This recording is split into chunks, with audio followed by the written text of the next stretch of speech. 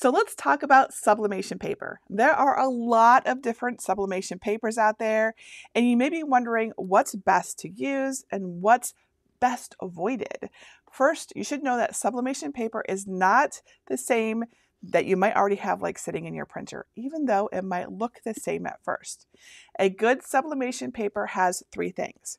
It holds the sublimation ink well without allowing, allowing the little ink dots from your printer to blur together.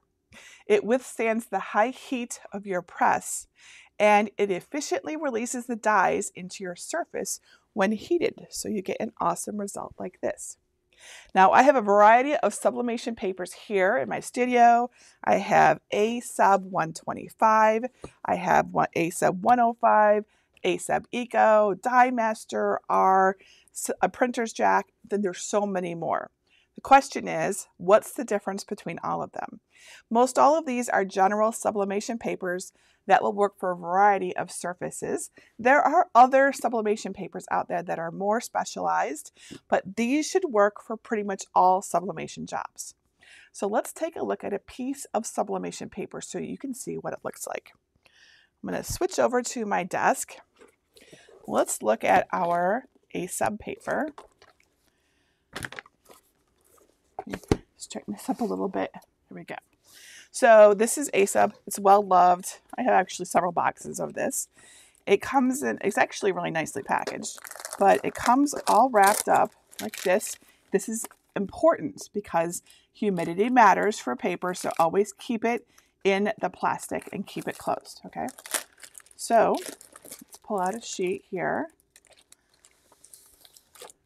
So this is the back of the paper. It has A sub printed on it very conveniently because this lets us know what the front is, which is this. So this is the front of the paper. Not all sublimation papers have this convenient little watermark on the back to let us know. But if you do use A sub or another one that has it, you want to print on the side that doesn't have that mark, just so you know. So you can see it looks like a regular old piece of paper, right? And if you just watch someone do it, you might think, oh, they're just using like, you know, the copy paper that comes from the store or whatever. But in fact, it makes a difference, right? Because this paper has a special coating on it, which allows the ink to absorb differently. In fact, basically not anywhere near as much. It's also got a I think it has like a little some silicone on it or something like that. I'm not positive because I didn't make this paper, but it's got some kind of coating on it that will allow it to withstand the super high heat of sublimation, which can get as high as 400 degrees Fahrenheit. Uh, so it makes a difference. Your sublimation paper makes a difference. So then, how do you decide which sublimation paper to use? So one important thing I want you to pay attention to is paper weight. Um, so for example, A sub comes in 125 grams, 120 grams, 105 grams, and also one called Eco. These numbers refer to the weight of the paper. 125G is 125 grams, and it's the thickest sublimation paper. The thicker, the heavier the paper, and the better it will hold your ink and saturate your surface. If you want full color, vibrant designs, then you want the heavier weight paper. A-Sub is actually my go-to for nearly every project. If you use the 125 gram paper, however, and you see wheel marks, uh, you may actually want a thinner paper. The heavier paper can also cause issues with hard and rigid surfaces because the ink doesn't absorb into it the same way and it has nowhere to go and it can kind of blur or ghost. If this happens, you'll want to go with a thinner paper. So 105 gram paper is the thinnest sublimation paper that I know of. Um, but you might be wondering why on earth would I want to use the thin paper if the heavier paper gives the best and most saturated color? Well, it turns out that thin sublimation paper like this is better when you're making seamless designs, like our full color sublimation doormats, like the gnome that's all colored, or even a sublimation tumbler. The thinner paper is also better for some printers that can get the wheel lines or pick up extra ink when going through the printer. For example, when I switched to 105 gram paper on my Epson Workforce, it worked much better. The catch is that 105 gram paper is more likely to curl and it doesn't do as well with heavy ink saturation. The low weight of the paper is more likely to cause it to move, bleed, ghost, that kind of thing. And if your surface looks dull and faded, like a t-shirt, it could also be related to the low weight of the paper. You want to move up to the heavier paper to get more ink on it and then more ink onto your surface. All right, so what about this Eco paper, also by ASUB? It's basically less expensive sublimation paper. So if you're doing a lot of something, you could really, uh, you could definitely use this, but it's only just a little less. So I'm not sure it's worth it personally, unless you're working in volume. We're going to test out whether this paper is basically as good as these papers later on. Okay, so weight of paper is another big factor, but also what about the compatibility of your paper with your printer? For example, TruePix paper is optimized to work with Sawgrass sublimation printers. It's 120 grams and it works on a variety of surfaces. DyeMaster, which I have right here, on the other hand, is optimized to work for Epson printers and it's 105 grams. I'm not sure why it's so thin, but it could be that Epson Workforce printers were one of the first printers people began converting to sublimation years ago, and the Workforce, I think, really needs a thinner paper. Now, you may have also heard of people using regular paper for sublimation. For example, laser copy paper. I'm trying to get it out. Hang on a second. It's like I put it over here so I can grab it. There we go. have you heard about this? So some people swear by laser paper because laser paper is um, formulated to withstand the high heat of a laser printer. The question is, does it hold the ink well enough? So I thought we should do a test of six papers, three ASUB, the laser paper, TruePix, and some regular old copy paper, just so you can see what they each look like. Sound good? You want to? I want to do this so that you can see the difference because I could sit here and talk to you all day, but it's really seeing that makes a difference. I love to test things. So I've actually pre-printed everything so you don't have to wait for me to print anything. But I'm going to show you each one before we, we uh, press it. And I need to put that back in the box later. Keep your paper away from humidity. Uh, humidity is definitely makes a difference in um, all ways with paper, but especially with sublimation paper. Um, humidity and, and uh, sublimation don't go hand in hand. Okay, so let me grab my tests. Okay, here we go.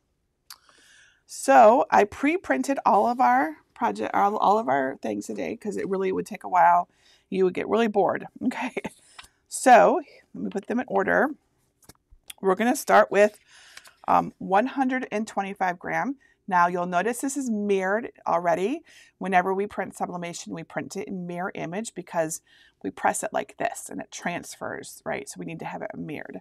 So this is 125 grams. And you can see here also, I want you to note that it is definitely, let's actually compare this to our finished doormat so you can see this difference here. So here is the, you know, obviously bigger, but here's the um, colors of this one. I want you to see how they're duller on the paper. This is totally normal. So many people who are new to sublimation, they print it out the first time and like, oh my gosh, what's wrong with my color? Chances are nothing is wrong with it. This is the way it looks. It looks dull before you transfer it. So you can never really tell um, until you actually go to transfer it, okay? And I recommend always transferring uh, just to like polyester fabric when you're doing tests. Okay, so our next one is going to be this 105 gram a sub paper. Okay, so this is a little thinner.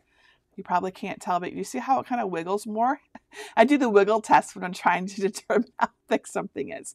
So it's like not as stiff. So uh, there we go. Okay, and then our third one will be the um, ASUB Eco.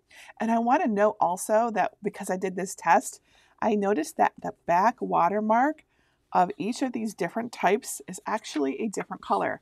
So if you got your paper confused, you could still tell which one is which. So the silver is top of the line 125 gram. The uh, green is 105 gram, the thinner paper, and the pink or magenta is the Eco, which is the, you know, less expensive one. All right, and then we're going to try TruePix. This is the paper that came with my sawgrass.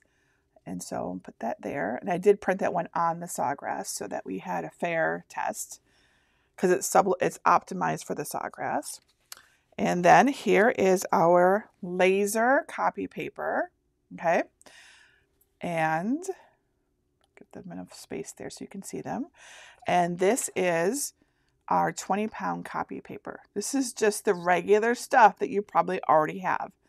Uh, the super cheapo stuff. But I wanted you to see what it would look like if you use that because I think sometimes people accidentally use the wrong paper and just don't even realize it. All right, so we're going to heat up. I'm to use the Easy Press. I'm going to heat my Easy Press up to 400 degrees. We're going to press for 30 seconds. Heat is what activates the ink and changes it from a solid to a gas, and then it basically sinks into our material, and then as it cools down, it stays in there. It's super cool. And I am going to use a polyester, piece of polyester fabric. It's actually like a garden flag, but I like to use these for tests because they're like already bound on the edges and they don't look all ragged from when I cut them. Okay, so let's get all prepped. I'm going to use my pressing pad. We always want to press, you know, press on a pad like this. Uh, they make this is the Cricut one, the Cricut 12 by 12 inch one. There's lots of them out there. You might, if you're using like a clamshell printer, you might already have a you know, pressing pad on it. If you have the Cricut Auto Press, it comes with one on it, right on it. So this is really only necessary if you're using an easy press like this, you know, this kind of portable heat press. And just as a note for anyone who's new to sublimation, you do need to use a heat press for sublimation. You can't use a household iron. They don't get hot enough, typically. I'm sure there's some exceptions out there, but typically they don't. Okay, so switch over. And I feel like we need more.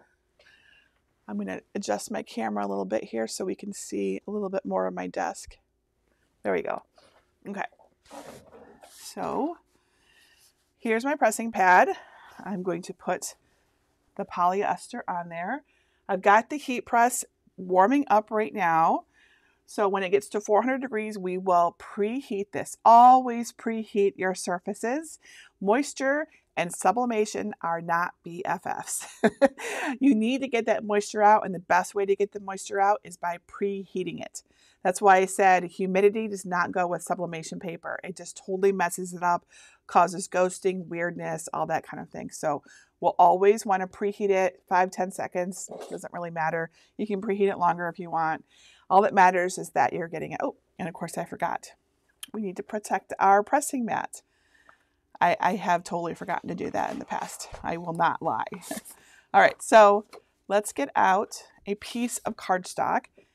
In a pinch, I have used just regular sublimation paper or you know copy paper, but it's it can have a lot more moisture in it, so I don't recommend it.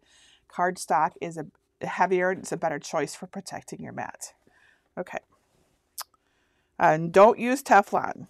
Teflon um, can trap moisture. Okay, so we're gonna set this on here, and I'll I'll be putting these on once we got it preheated. Let's see. I can. I'm happy to answer questions as we go along too. Barbara says, do you have to have a big heat press to do with those sublimation um, images? If you're doing a big image, yes, you definitely want a big heat press. Um, I'm using the 12 by 10 inch one. I've also used the Cricut Auto Press, which is 12 by 15. They they make traditional clamshell presses go bigger, but I but for this process, you we're going to show you how to do it with this size. Okay, so you can totally do it with a 9 by 9 inch easy press. We're going to show you how to do that. So you don't have to have a heat press that is what are these doormats like? Um, two feet or three feet by two or something. You know, I'm sure they make them that big, but I've never seen one that big. So you are actually going to be able to use a smaller heat press to do this big project. You might see a little overlap, you know, as you do it, but it's really not that noticeable. So not to worry. Okay. And uh, let's see here. Grace says, can we use cardboard if we don't want to use cardstock to protect the pad? Maybe. It depends on it. So if it was like the really thin cardboard and it's not hum, you know, like damp, I think that would be fine. If it's corrugated cardboard, I think that I'm not sure. I'm not sure what that corrugation might do. So I'm not, I haven't experimented with it. Okay. The easy press is warmed up. So let's preheat our surface. So I just press it for, you know, 10 seconds. We're just getting the moisture out. If you ever see steam rising, that's exactly what's happening. And then we're going to do the whole piece of fabric. So we're going to get down here as well to this side. So yeah, this is the 12 by 10 Cricut Easy Press. You could do this with the 9 by 9. You can also sublimate with the mini Cricut Easy Press, but um, it won't, I don't think it'll transfer as well, especially with big images because you, it's just so tiny, right? But you can do it. If you're doing like little ornaments and stuff, I think the mini Cricut Easy Press works great. Okay, so now we need to get our designs onto our flag. And I want to note that there's a little seam here, so I'm going to let it drape off the edge of the mat like this so it doesn't cause any issues. Okay. All right, so let's put our designs on and we're going to tape them down. Whenever you put your design, your sublimation print onto your surface, and again, it could be anything with polyester or anything that says it has a sublimation coating on it. Okay, there's lots and lots of things that you can make, but you want to put it face down, like right. That's why we mirror it. So I'm going to try arranging them all first to see how well they're going to fit before I start taping. go. So I'm try to put them in order. Because I feel like I can definitely trim some of these because they got to fit, right? so let's trim. The, by the way, another tip that I have in many of my tutorials is that this sharp edge of the paper can actually leave an imprint in there. So if I were to say tear it instead like this, it sort of bevels the edge and it won't leave such a sharp print. So a little tip for you there. All right, next is this TruePix. Let's trim off his little top too. There we go. And I put the names of everything that I'm using on here so that we can compare. And I think I'll do the, I'll tape these two here, our two copy papers. I'll do them separate because they're kind of hanging off the end. Let's just make sure that they're going to fit. Right? I always like to do this if I'm doing like any kind of piecing. Um, and this is true for the doormat as well. Move these things here. Let's make sure I'm going to have space here for the gnomes at the bottom. It looks like I will. Okay. Now we tape it in place because th this is very important to be like, oh, this is fine. I'm just going to press it like this. Use your heat resistant tape. Um, it's not just to prevent it from moving. So don't put just like one piece there and think it's fine.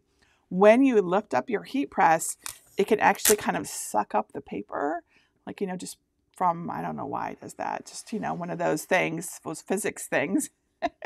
uh, but it can suck it up and then it can cause air to come in there and it, because it's an it's gas right it can kind of blur right so you want to you, you I tape all four sides you don't have to tape the full length necessarily on a project like this but make sure that's uh that might not be high enough up there I want to get this one up here too um, it doesn't necessarily have to be the full length on something like this, but if you're doing like a tumbler right? Tumblers are very finicky and you would want to tape tape the daylights out of that tumbler.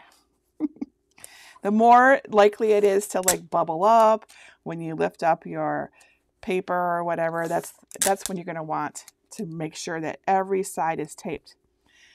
Okay.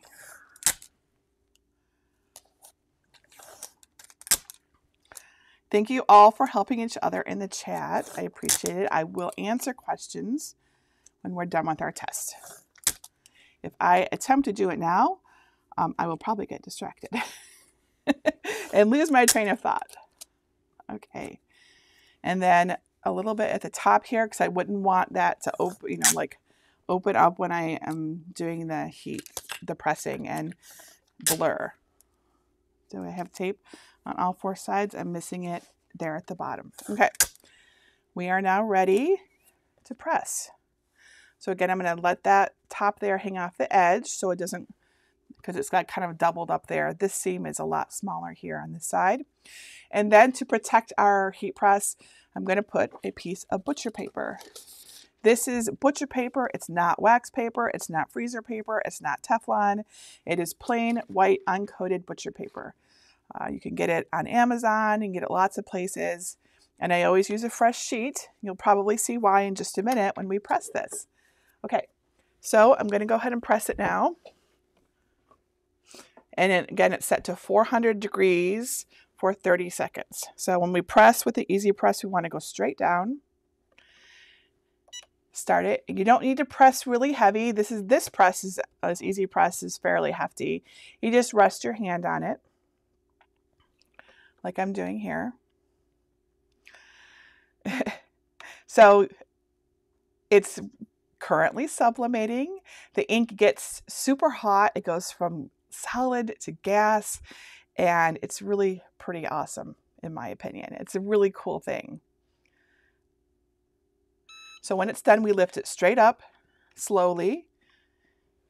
Here we go.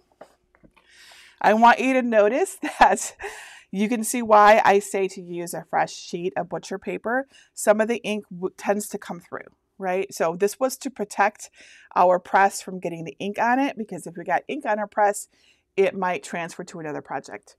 We can usually take this butcher paper off right away. You see how in the corner there, there's some ink. So we're not going to want to reuse this again. So recycle this paper, use it for something else. Now we want to leave the, our sublimation prints in place as they're they're because they're still kind of finishing up. It doesn't instantly turn off as soon as you release that heat press. It has to cool off and re-solidify. So don't just yank everything off because you're super eager to see what it looks like. Give it, you know, 10, 15 seconds, and then you can start removing it. You might want to use tweezers to take it off. I'm, I'm not going to because I don't even know where mine are. But it's a good idea so that you don't burn your fingers. So I'm going to go ahead and take mine off. See how we did. So there is our A sub 125 gram. Here is, look at how beautiful and vibrant that is. This is 105 gram, so 125, 105.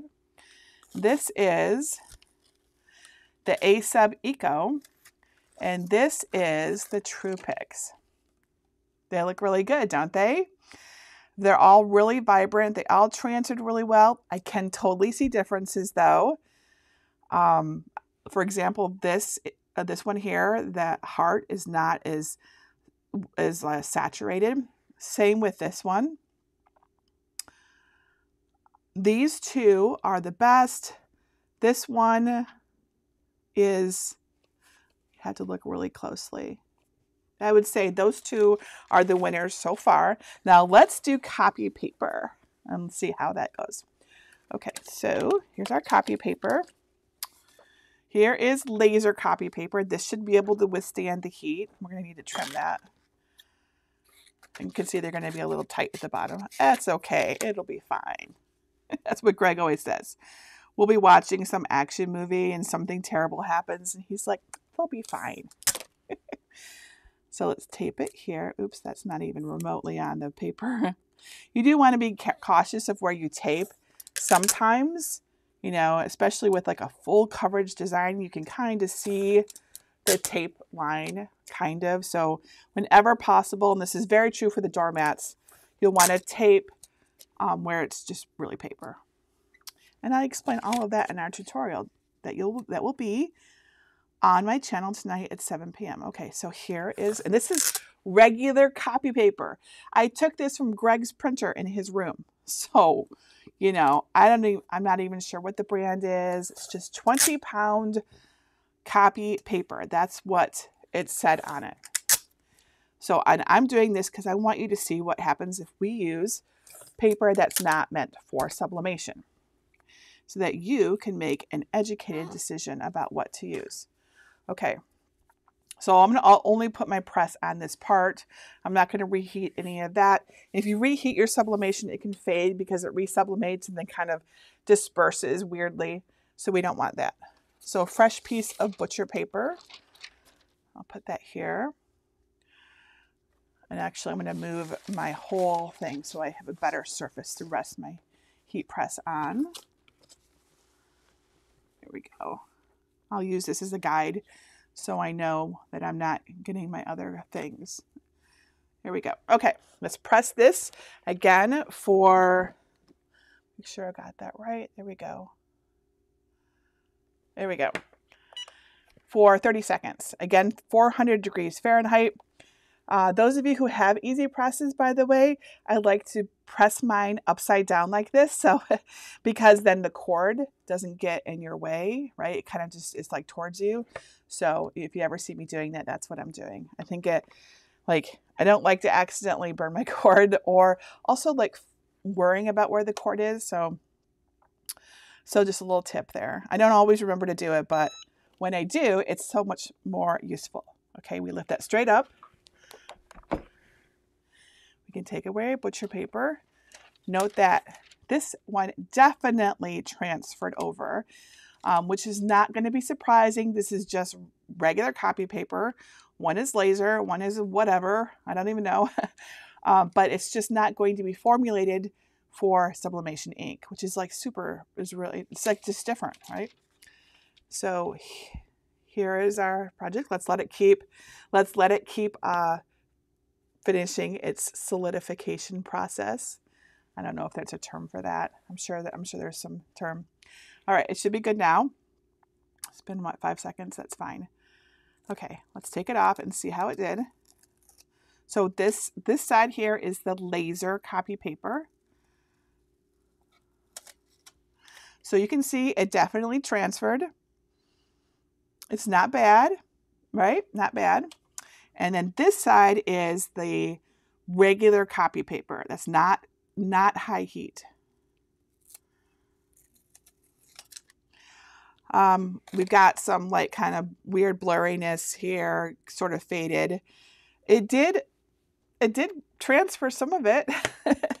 it's not as bad as it could have been. So those are, so let's take a look at these. I have another one to show you too. So I actually did another test in advance. So here we have 125 gram, 105 gram. You can definitely see that there's a difference, right? The heart in the center is very helpful for seeing how solid it is. Uh, one of these two, I would say, is my winner here. Um, this is ASUB Eco, cheaper paper. So if you have a lot of things you have to do, it might help to use that. I don't know. I've never, I mostly, I mostly only use 125 gram. Um, and then here's the TruePix. Not quite as good, I have to say. And then down here we have our laser copy paper. Let me hold that up a little bit more so you can see. Right? You can see how the copy paper is just not as it's just not as vibrant. Okay. Now I did another test for you of my Subliflower. Those of you who've been following me in sublimation know what the Subliflower is. It shows all the colors. So here it is. And you can get this file free. It's a great test file for testing out your color and doing just what I'm doing right now. It's over on in my free resource library. I don't know off the top of my head what the design number is. Maybe someone in chat can let me know what the design number is so I can pass it along to everybody. Okay, so I'm going to hold this up so you can see. Here is the 125 gram. Here is the 105 gram, 5 gram. Here's the Eco. Here's the TruePix. Here is laser copy paper and 20 pound copy paper. You see what a gigantic difference those are at the bottom? So yeah, here are the tests all together. So of these, these are definitely better. Yeah, I don't see, in fact, a huge difference between the 125 and the 105. So that's pretty awesome. And that's what I would have expected. The A sub eco is maybe just a tad not as saturated, but if I didn't have this right here to compare everything to, I probably wouldn't notice. The Truepix, you know, again, if I didn't have it to compare, I'd probably be happy, but compared to like one of these, it's not as good. And then laser copy paper is like second worst, and regular copy paper, as we would expect, is horrible. I want you to notice these like weird, like that's not ghosting. I don't know what we would call that. But I believe what happened here is that the paper kind of bubbled up or it was moist it was moist or something and um, but the high heat made it kind of warp and so it no longer had good contact with the surface right so especially once i removed it the heat press from it it was very warped right so it just didn't look very good and so it caused that um, I don't believe it's pressure problems or anything like that. These, these all had the exact amount of same amount of pressure. So definitely don't use 20 pound copy paper. I just did this only to show you what it might look like if you accidentally use the wrong paper. But the truth is, is that all the rest, other than this one, are probably good enough. If you want really, really good, I would probably go with these three. And if you want the best, I think I go with the top two here, these two right here, right? This 125 gram is my go-to. I just default to this one. Again, let me show you the box so that you know which one I'm talking about. That's the uh, A sub 125 gram paper. Um, it's just, I have like four boxes like this and uh, I've been various places, so I always have it. And this just works really, really well. I've never had any major issues with it. When I want to do something like, let me get it up for you, this with seamless designs, right?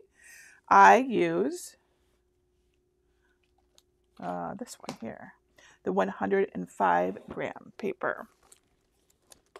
Because uh, also for tumblers, um, if we ever want anything seamless, it does a better job of creating less of a seam. It just seems to work better. That thinner paper, something about it. I don't really quite know why, but it works.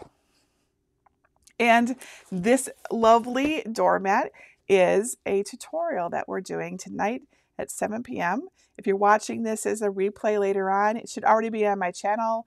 It's called How to Sublimate Large Designs. So we're showing you exactly how to do this um, and without having seams. I mean, I guess you can kind of see it here, but this actually is probably the side of the EasyPress, right? Or the Cricut Auto Press, because we have to, you know, there's a little overlap. So when you have a little overlap, you can get a little lightning effect. But Sarah, look how amazing this looks. Isn't that awesome? Do you like it? okay, I have questions. I'm going to answer some questions here. Susan says, if you cut with scissors instead of ripping, will you get a line? Not always, not always. So sometimes with sublimation paper, that hard edge of a piece of paper, especially with high pressure, this isn't going to have high pressure, but if you're using like a clamshell heat press or the Cricut Auto Press, it will have more pressure for sure. Um, it'll actually put the indent of the paper, and so you'll see like your shirt, it'll be beautiful, but it'll have like a little faint little rectangle shadow around it. It's not ink, it's just the edge of the paper has created this slight, um, I think one of my, I think I could see it. Um, nope, it's now, the humidity has now moved it, so I can't see it, but I've, I've definitely seen it. So my tip is to actually rip the edges so that you're beveling the edges, or you could use a pair of scissors and cut around your design in like kind of following the form of it. And then if it transfers, it doesn't really stand out as a rectangle or square. It just looks like it's supposed to be like that. A little shadow, right? You don't notice it. Uh, let's see here. Elspeth says, what weight is the cardstock that you're using to preheat the mat? Um, I'm using either 65 pound or 80 pound. It doesn't matter what weight it is. I've just found that, that it, cardstock does work better than, let's say, a piece of laser paper or something. So, uh, but I have used it in a pinch. I have used laser paper when I've needed to protect my mat and I couldn't find my piece of cardstock. uh, let's see here. Um, do you, does anyone have any other questions about sublimation paper for me that I can answer? I would love to help you out with any questions. If you ever have a question about anything sublimation related, uh, we have an awesome, awesome sublimation group on Facebook called Sublimation Made Easy. It is it is an amazing group. I learned so much from being in this group. I truly I learned about using 105 gram paper instead of 125 gram paper from the amazing people in my group. Like I they were just chatting about, you know, what paper to use and someone's like this works better for seams and I'm like oh my gosh, I have to go test it and sure enough it does. So if you uh, want to learn more about sublimation, I highly recommend you come over and join us. It is at jennifermaker.com slash sublimation group. Also, did anyone have the Subliflower design number so I can share it? I would love to. I don't remember the design number. Okay, and any other questions about sublimation paper? Brenda says, can I use A sub paper in Sawgrass? You totally can. Uh, in the print manager for Sawgrass, you'll just want to use type A paper. That's what I use. That works great. When you use TruePix, you'll want to select that paper. So there's like different paper choices, but you'll want to use type A for A sub paper. Yes. Um, let's see. That uh, Donna says when you put a the sublimation paper into an Epson printer, is the white side up in the tray or the side that says A sub on it? Well, they might not all be the same, but in mine, and I'm using the 47 something, whatever series, um, it goes a sub up, right? And this is, I find this is true for almost any printer that has a paper tray. You see down here, let's move this here. So this has a paper tray in it. Right? Paper tray. So do I have a piece of paper here that I could demonstrate for you? Let's, let's take one out, shall we? Let's take out a piece of ASUB. Oh, that's right. I have this one from when we were looking at it. So here is our paper. Again, here is the side that we sublimate on, all pretty snowy white. This is the side we don't sublimate on, right? It's very obvious. Um, and sadly, not all sublimation paper will be like this. So what you'll see instead is, um, where's the DyeMaster? here is this side. This is this is a DyeMaster R 105 gram. Um, so it actually tells you on the box what side to print on. So you need to keep it in the box so that you, when you take it out, you're making sure you use this the right side. Okay. Sometimes they do have like different colors on one side versus the other. So you might be able to tell, but then you got to know which is the right side to start with. So if you're ever having a problem and it doesn't seem right, you might be printing on the wrong side.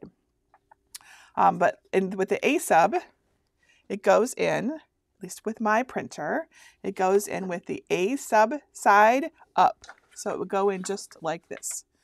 That is true of the sawgrass as well. I don't know if it's true of every Epson EcoTank, but um, if it has a paper tray, usually, usually it goes in. So if you need to check and you're not sure and you're worried, often it will say right in the paper tray, there'll be like a little icon and it'll indicate which side because this is a problem for everybody. or you can just Google it. Go to Google, type in your question, and you know it'll tell you. The manual will always tell you. Uh, I mean, Rachel says, which paper works best for mugs or a flat surface? So I recommend, let's turn that off.